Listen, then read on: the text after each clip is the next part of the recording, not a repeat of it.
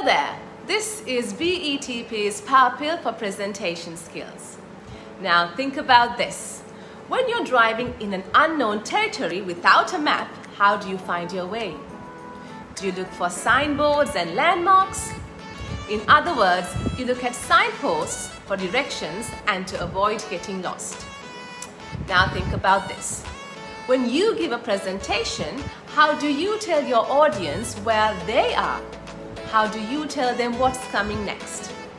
You do this by telling them, by signaling them. We signal by saying, let's start by taking a look at, at the beginning. Now I'd like to discuss when moving on to the next point.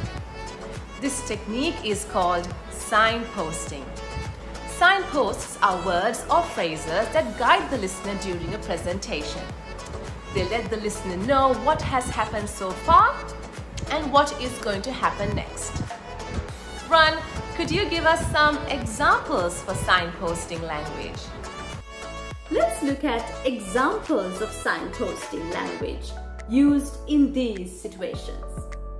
When introducing the topic, you could say, I'm going to give you an overview of, or how about this one?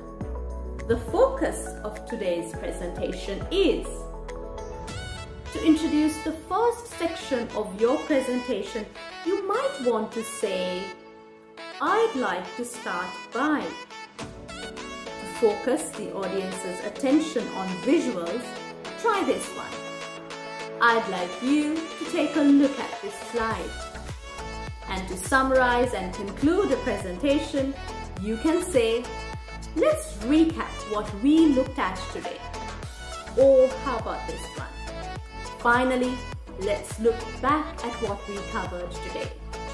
Remember, a good presenter will usually use a lot of signposting language purposefully. Try these phrases in your presentations and enjoy the ride. For more videos, check our YouTube channel, Brain Fuel by BETP. Until next time, this is Run and Fuzz signing off.